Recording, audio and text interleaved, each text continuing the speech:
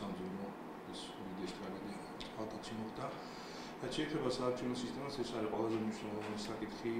დღეს ქვეყანაში და უნივერსიტეტში ჩვენ საუბრობთ საპარლამენტო არჩევნების ლეგიტიმაციაზე და იქ შეიძლება ის ოპოზიციის მხრიდან თუ არა შეიცვალა საარჩევნო სისტემა შესაძლოა და ეს არჩევნების ლეგიტიმაციის საკითხი, რა თქმა უნდა, არჩევნების ლეგიტიმაციის საკითხი ხოლმე საარჩევნო სისტემაზე არის დამოკიდებული, უნდა არსებობდეს სამართლიანი და თავისუფალი საარჩევნო გარემო და ბევრი სხვა საკითხები არსებობს იმასთან დაკავშირებით, რომ ჩვენ ვისაუბროთ, რამდენად იქნება მომავალი არჩევნები. რაც შეეხება უშუალო საარჩევნო სისტემას, თქვენიც თუ ყველა შემთხვევაში ჩვენ საუბრობთ კვლავ შერეულ საარჩევნო სისტემაზე, ერთის ხრივ ჩვენ ველოდებით ეუთოდერის დასკვნას იმ შეთავაზებასთან დაკავშირებით, რომელიც ოპოზიციამ წარადგინა, გულისხმობ მოდიფიცირებულ გერმანულ მოდელს, ეგრეთ წოდებული უსუფაშვილი ბაშედის მოდელს, სადაც 73 მაჟორიტარული ოლქი უნდა დარჩეს, მაგრამ დასასრული იქნება, რომ ჩატარდეს მრავალმანდატიანი მაჟორიტარული ოლქები, რაც უზრუნველყოფს იმას, რომ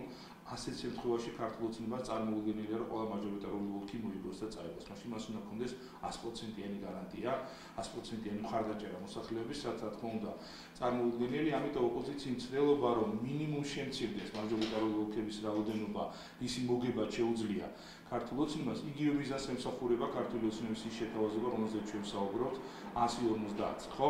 რაც ყველაზე მნიშვნელოვანია, თქვენ გახსოვთ 2008 წლის მარტამდე ფაქტობრივად საპარლამენტო არჩევნების ბამდეული თვით ადრე შეიცვალა მასშტაბური კონფიგურაცია, თუმცა ჩვენ მათ შორის კონსტიტუციაში და საარჩევნო კოდექსში უკვე ქონდა განაწილებული 150 და მაშინაც საცოლო მოძრაობამ შეცვალა ეს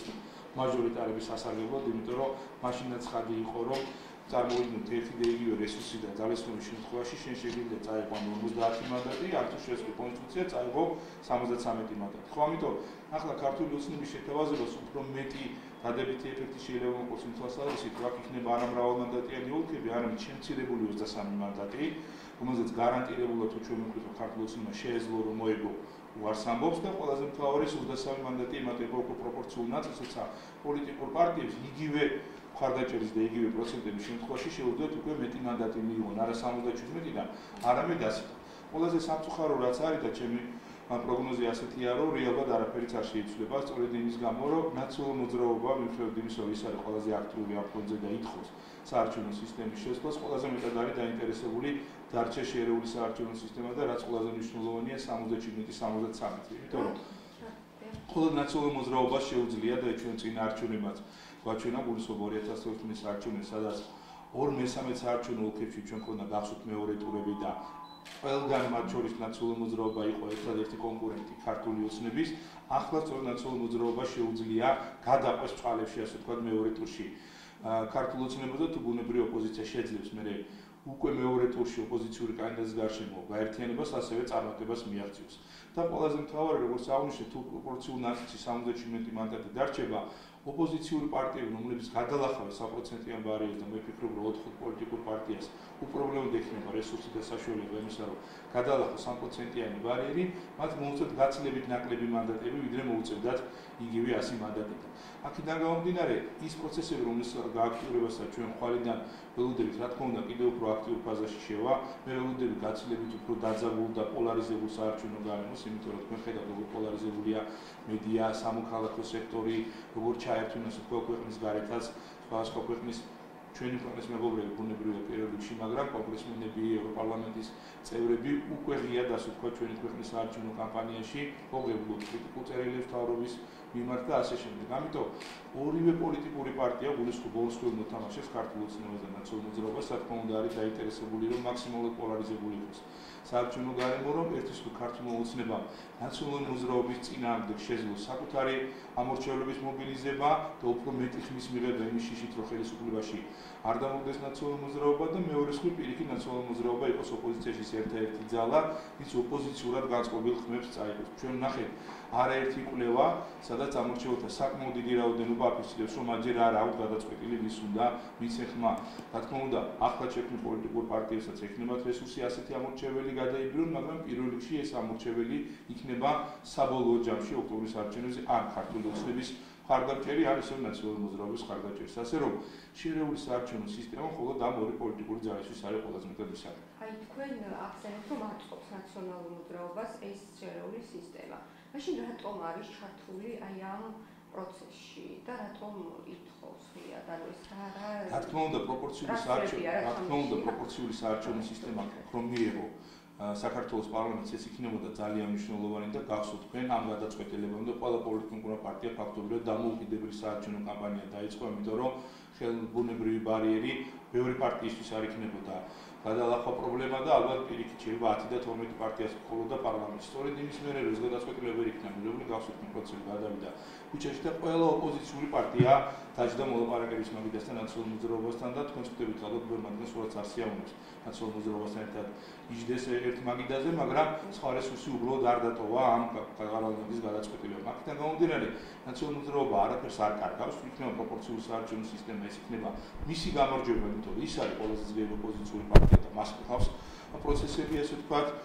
ქუჩაშიც და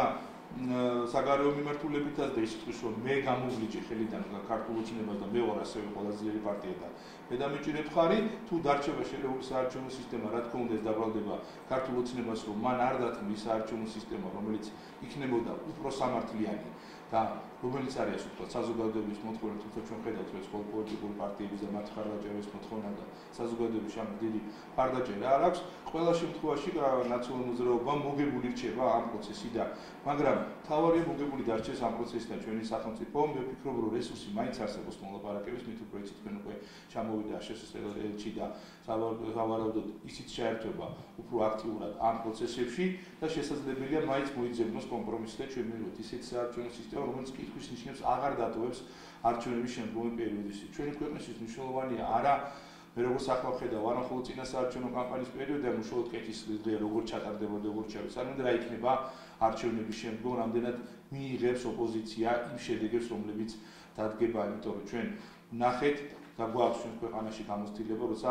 არჩევნების აყალბების შემთხვევაში მოხდა ვარდების რევოლუცია. მე დარწმუნებული ვარ, არჩევნების გაყალბება, ფალსიფიცირება არ მოხდება, მის უფლებას ჩვენ არავინ არ მოგცეს და ქართულოსნებას მისი ხელისუფლების პერიოდში არც ერთი არჩევნები არ გაუყალბებია და ასეთი კითხვის ნიშნები არ გაჩენილა, მაგრამ თავად მთელი ეს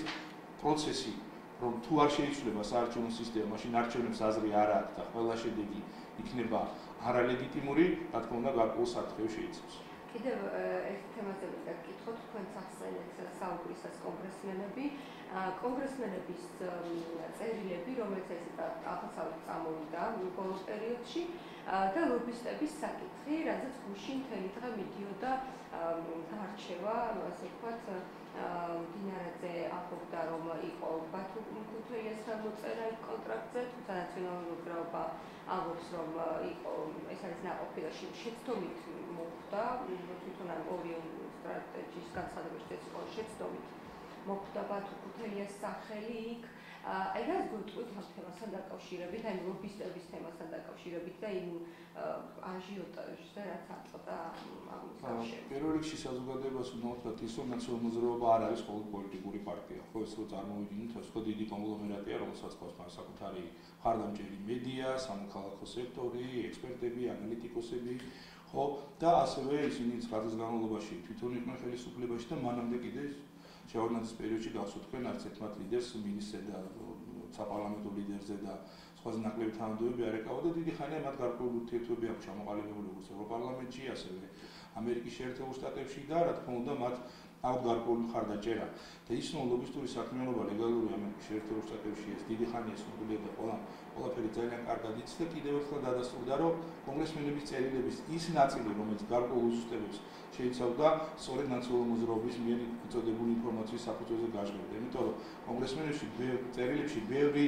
კარგი რამაც ეწერა და გაფრთხილება რა თქმა უნდა იმისა რომ ჩვენ ჩავატარო თავისუფალი და სამართლიანი არჩევნები ეს არის ჩვენი მეგობრების წუხილი და დიახ თუ ოპოზიციის მიერ მიტანილი ინფორმაციის შესაძლოა არსებობდეს კითხვები საარჩევნო სისტემასთან, ზოგადად მედიის თავისუფლებასთან, ქვეყანაში არსებულ გონორებასთან დაკავშირებით, რომ ხელისუფლება შეიძლება შეეცადოს უკანონო გზებით შეინარჩუნოს ხელისუფლება, ეს ყოველას უხილი იქნება, იმიტომ რომ სახელმწიფო არის დასავლეთის პარტნიორი და ამერიკის პარტნიორი და არა რომელიმე პოლიტიკური პარტია, ხო? თუმცა ჩვენ ასევე ვნახეთ კონტრაქტი, რომლის ღირებულებაც მე არ ვიცი რამდენია და ალბათ სავარაუდოდ აუდიტის სამსახური სამ თემებით